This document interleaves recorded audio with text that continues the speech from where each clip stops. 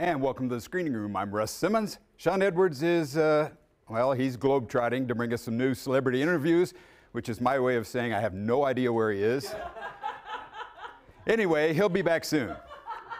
Now, that's right.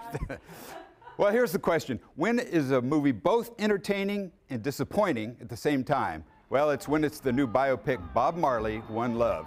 The late reggae icon's music propels what is otherwise a very bland reenactment of segments of his life.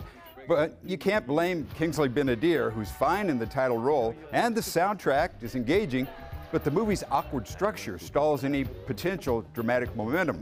Shawn says, quote, not a fan when family members are involved in telling the story. Uh, Bob Marley deserves an episodic series. So much is left off the table, and what we get is either cliched or not thoroughly explained. It's tailor made for fans who will cheer, but for everyone else, this needed to be better. Thankfully, Kingsley Ben-Adir uh, really thrives as Bob Marley despite having to wear a horrible wig. Well, I'm giving it two popcorn bags. Shawn does me one better, three popcorn bags for Bob Marley, One Love. Now, one thing about the new Marvel superhero opus Madame Web is you've seen it all before. Dakota Johnson is passable in the origin story of a woman with the ability to see short spans into the future. She and some innocent teens are hunted by a power hungry villain played by Tahar Rahim, who's horribly miscast. I see the future of this movie. It's going nowhere.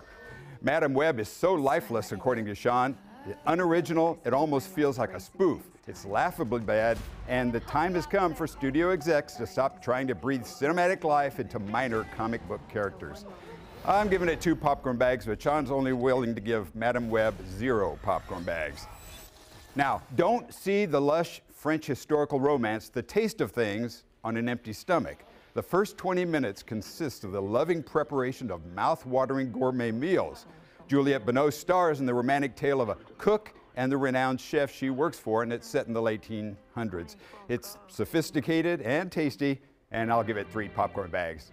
You can see all of our reviews and interviews with Hollywood's biggest stars at fox4kc.com slash screening room. Check us out on our YouTube page or uh, give us a like on our Fox 4 Screening Room Facebook page for all the inside movie scoop. And that's often where we give away movie passes, so check it out.